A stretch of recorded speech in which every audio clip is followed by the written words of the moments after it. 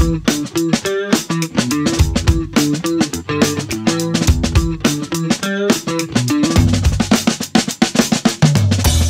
guest today is Bill Sempf. Bill, how are you, my friend? I'm very well. Thank you very much. Uh, what, tell us what you do for a living, Bill. I am an application security architect. My job is to help developers write more secure code. That sounds like an important job. I think a lot of us know sec- they kind of we, yeah, we're kind of aware really that security is important, but we don't really know exactly how. I think that's probably describes the yeah, yeah. The, the software. The, the realities of application security dig into places that you wouldn't expect them to go, and the even the weirder thing is a lot of the stuff you hear about that is ascribed to this vendor or this group or whatever is really an application security problem at its core. I mean, hmm. All the, the, the, the, flaws in routers and stuff, there's code for those routers. I mean, that flaws in the code. It's not, it's not yeah. some magical thing because it's a router. It's, it's a, it's in the code.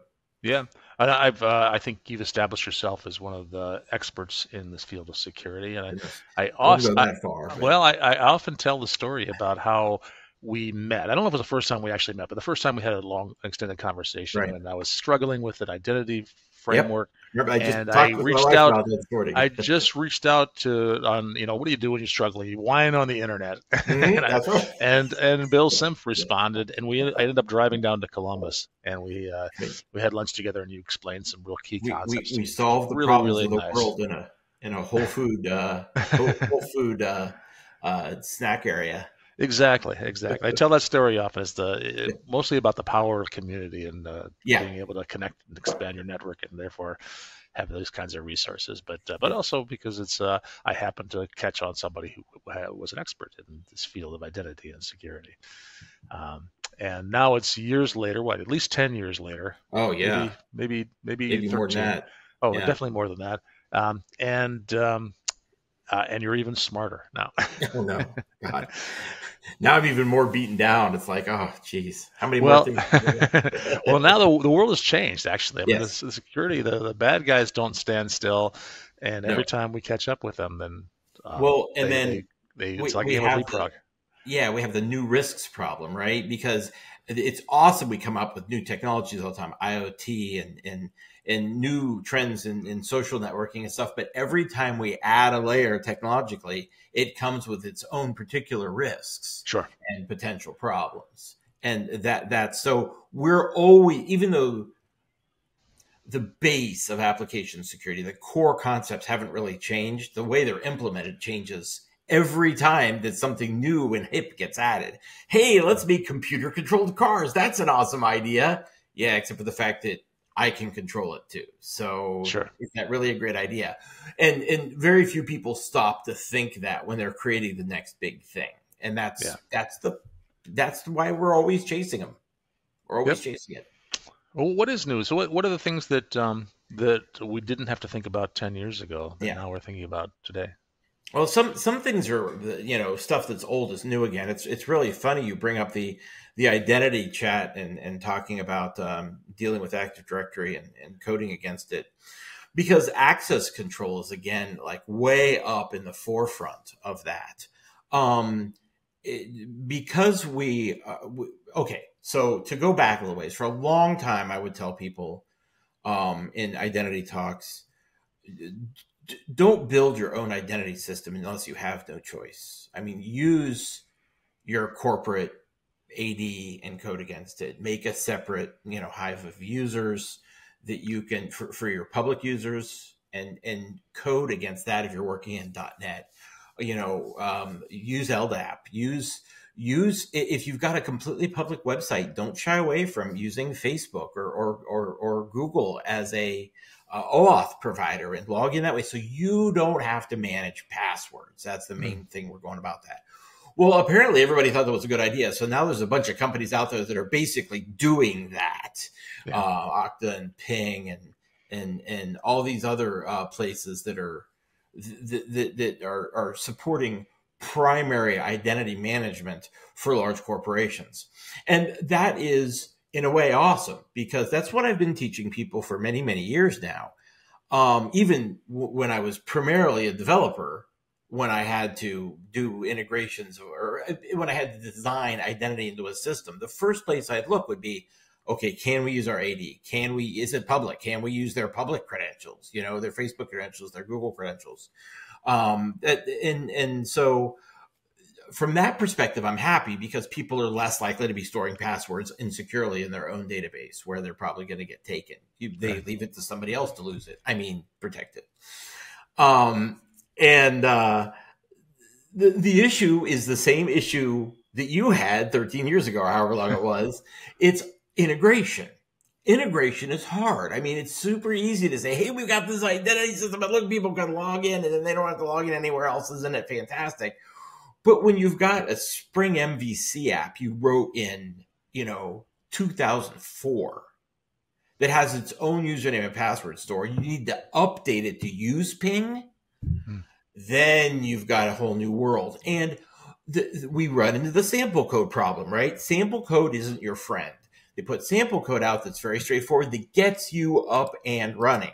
Right. So, for instance, you know, to do initial authorization, sending basic auth in the header, which mm-hmm. is fine for internal things that are never going to see the public but you, you can't even under TLS you can't send a, your username and password in a header repeatedly like that over and over again. You, Eventually, it's going to get lost. Mm-hmm. It's just not the best way to do things.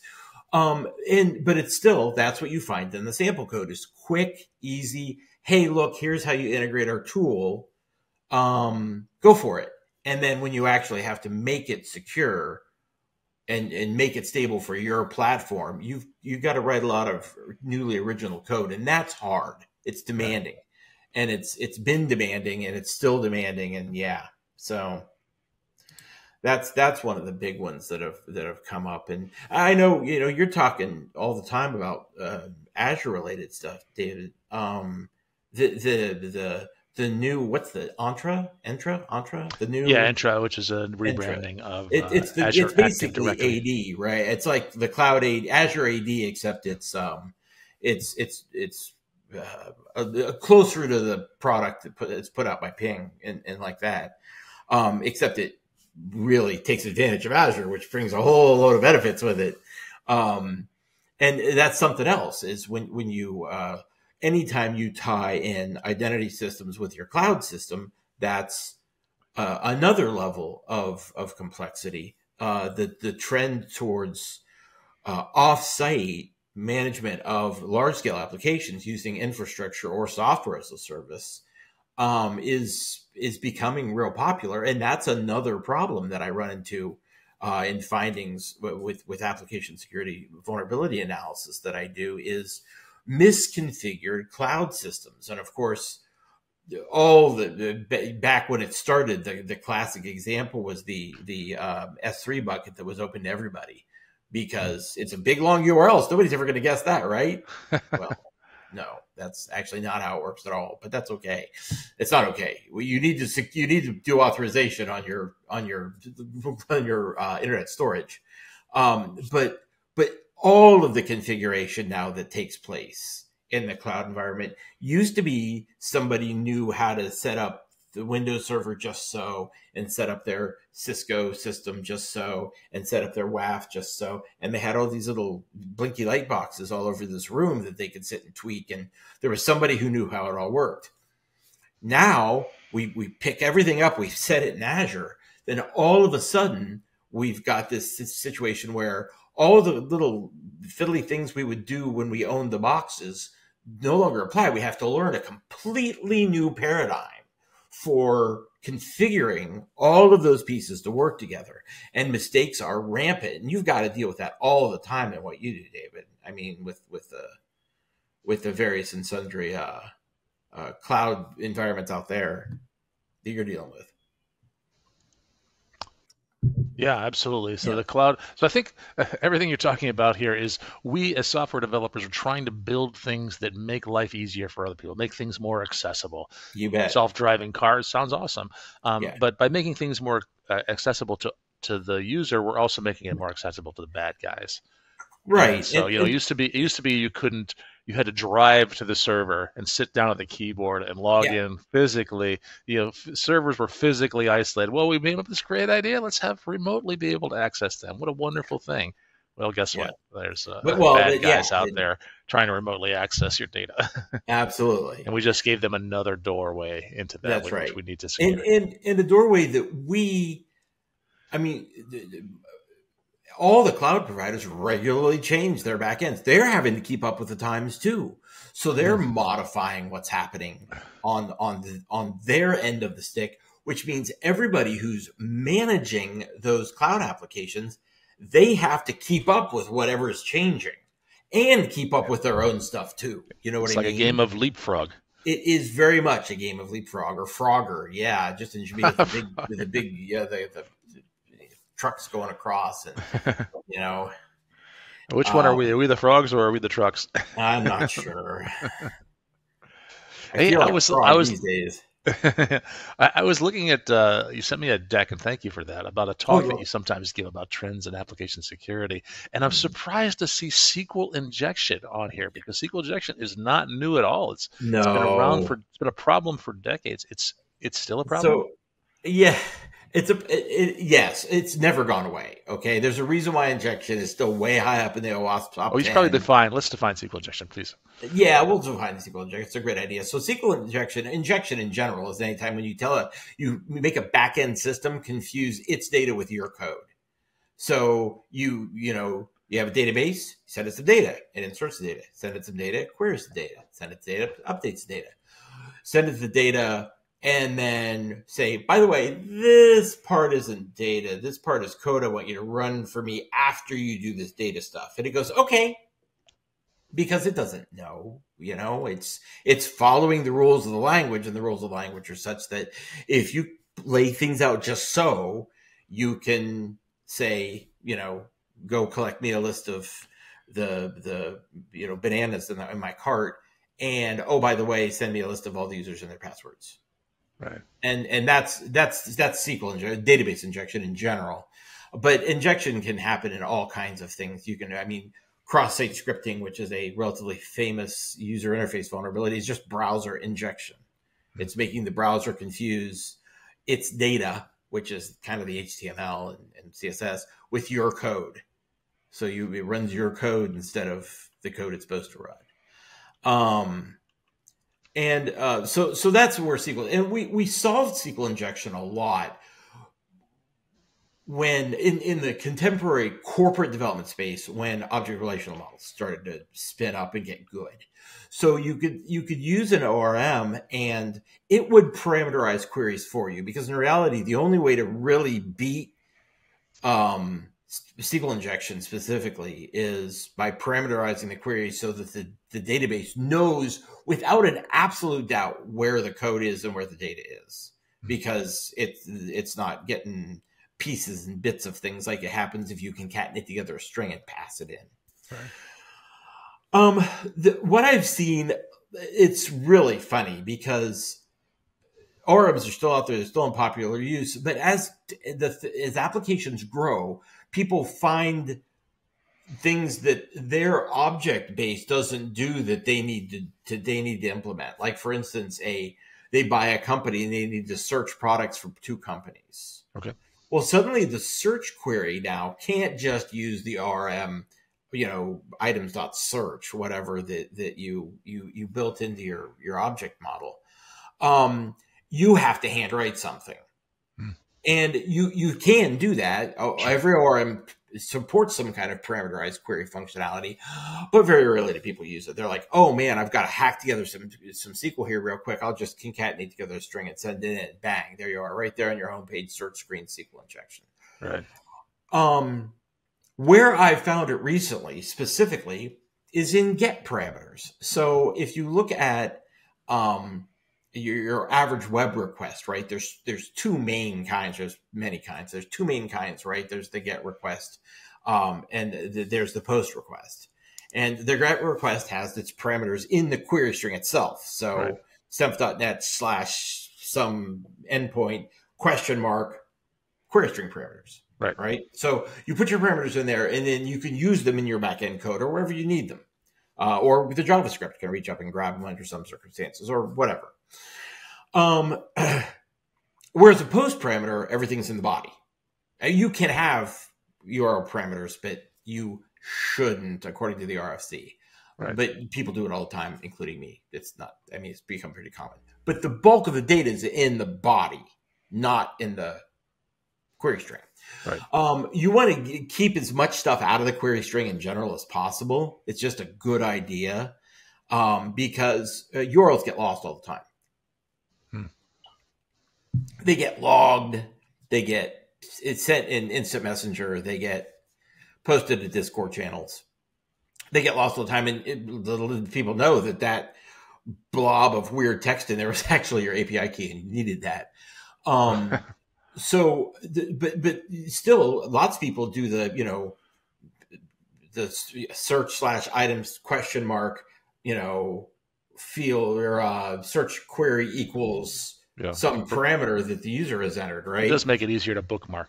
It does yeah. Well that's well, that's but that's another leakage is bookmarks. Right. because people always like publish their bookmarks and they didn't know they're actually publishing their account information as long with it. Anyway. Mm.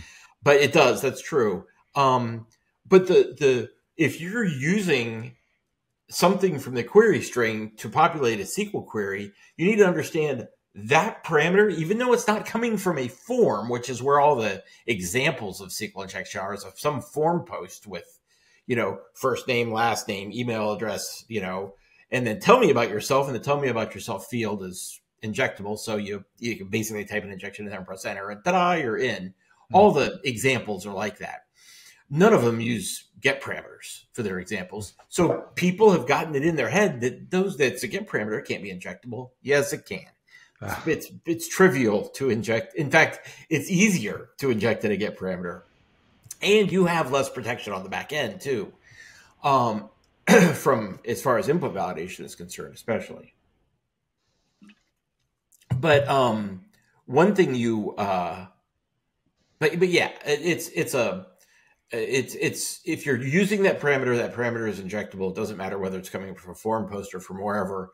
Um, and of course, the the protection for that is far deep down inside, out way away from the HTTP stuff. It's down at the database level where you need to send it a parameterized query, not some string right. you cobbled together and ran a database connection dot run on or whatever a dot execute. So yeah, it's right. it and it, like I said, it's never really gone away. I, I, I pick up one or two SQL injection vulnerabilities a month in tests that I do. uh, but it's been like more like one or two a week for the past little bit for some reason. Uh, that's why. scary. And it's all been get parameters.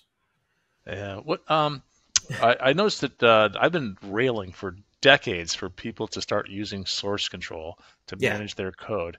Yeah. Uh, but you pointed out that there are problems with source control. There's yeah, absolutely. Issues. I mean, and it's not problems with source or control. P- potential problems, large, right?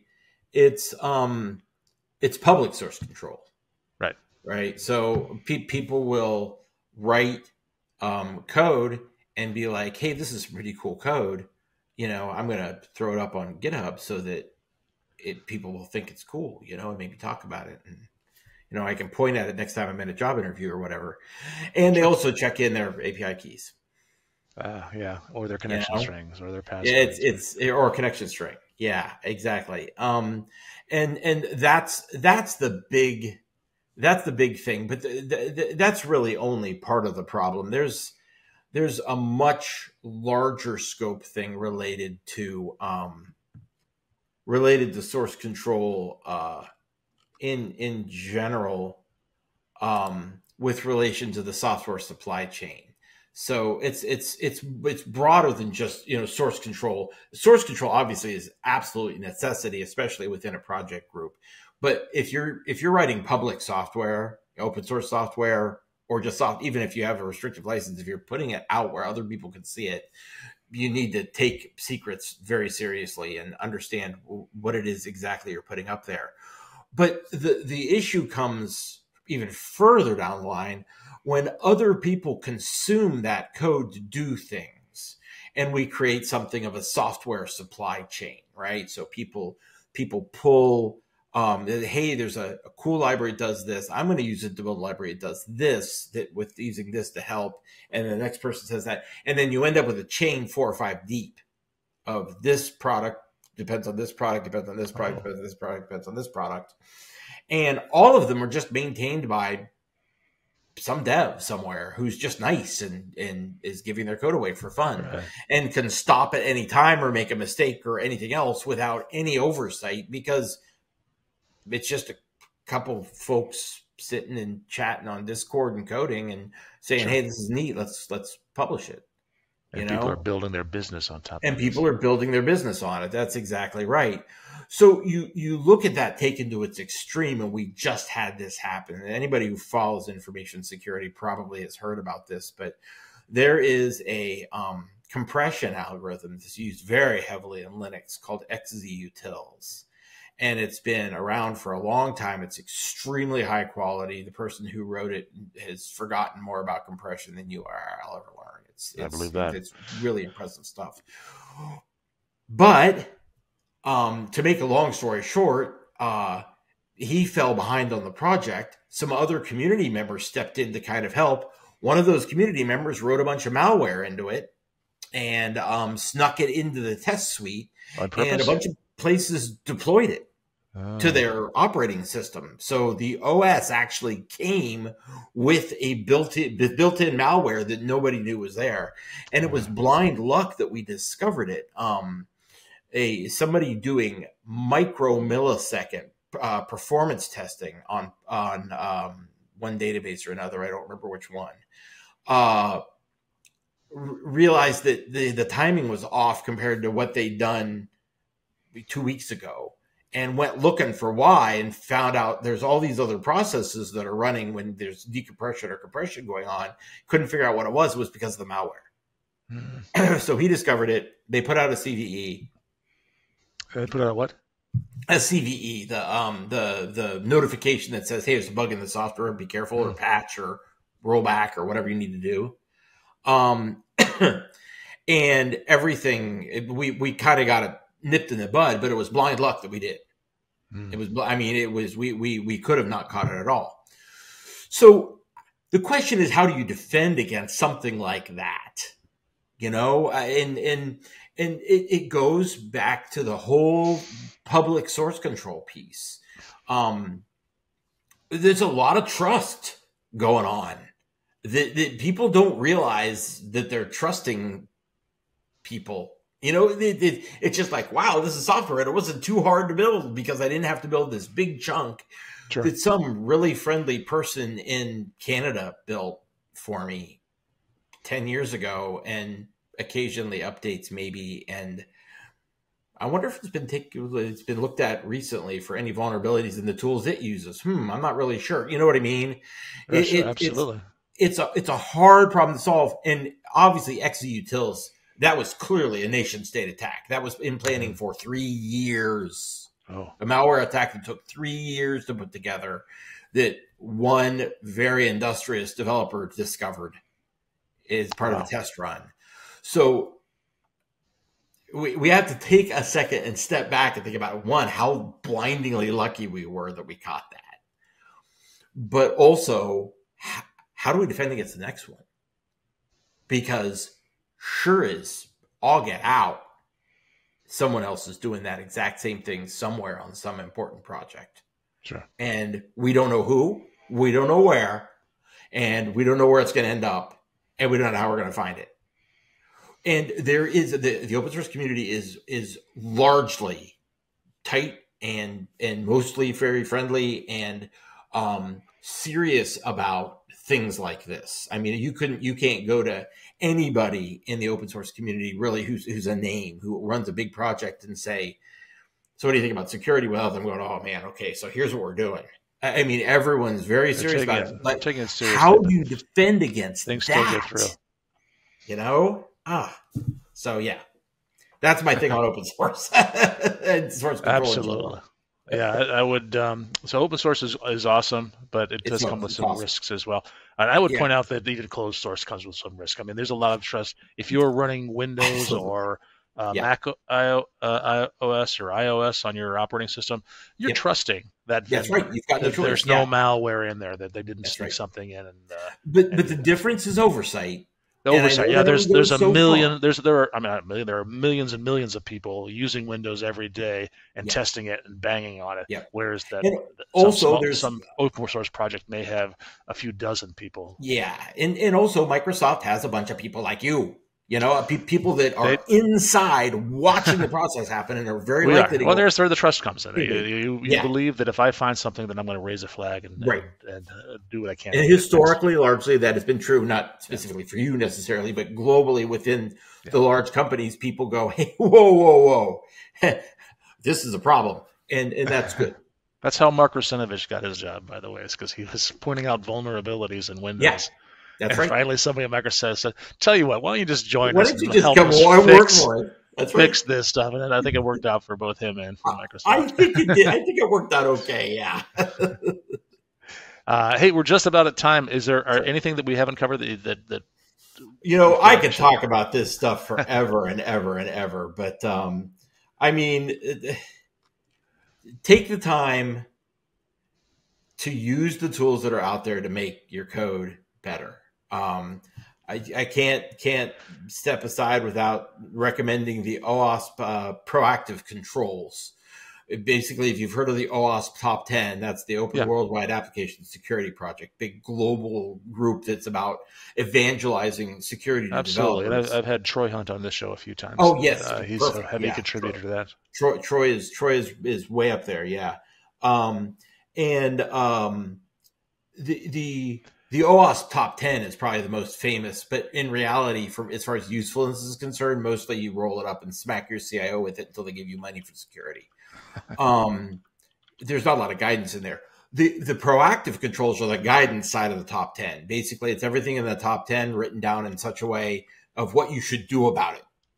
So read that, take, take that, look at it, and then pick something and go, you know what, we could be doing that better and start doing that better because it's I mean, it's overwhelming if you look at everything, but if you take it one piece at a time, think, hmm, I wonder if we're not parameterizing our queries when we do X, Y, and Z with our hmm. RF.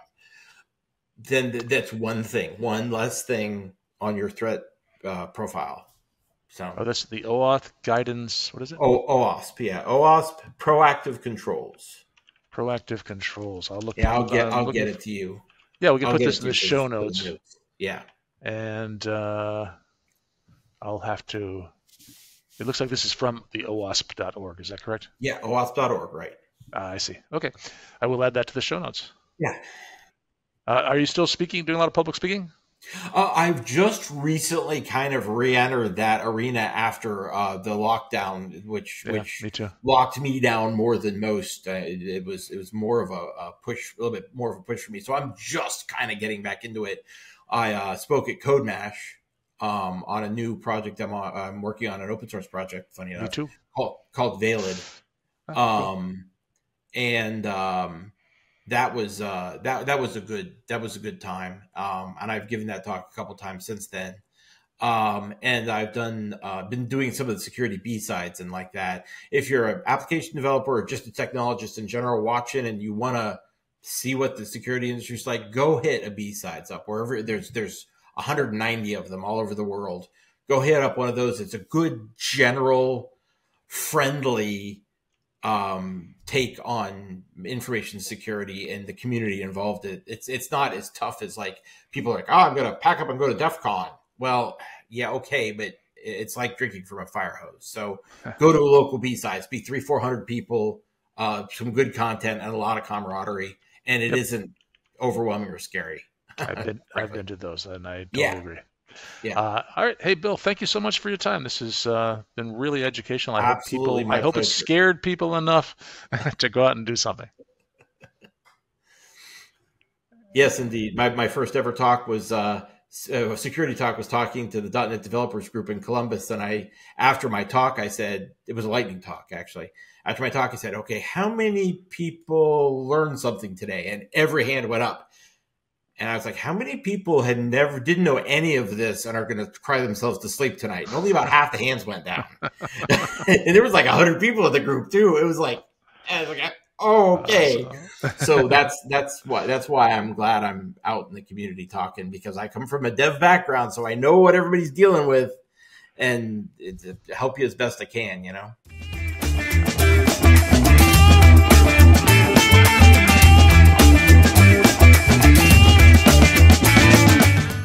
the best part of technology, in my opinion anyway, is connecting with friends like you, David.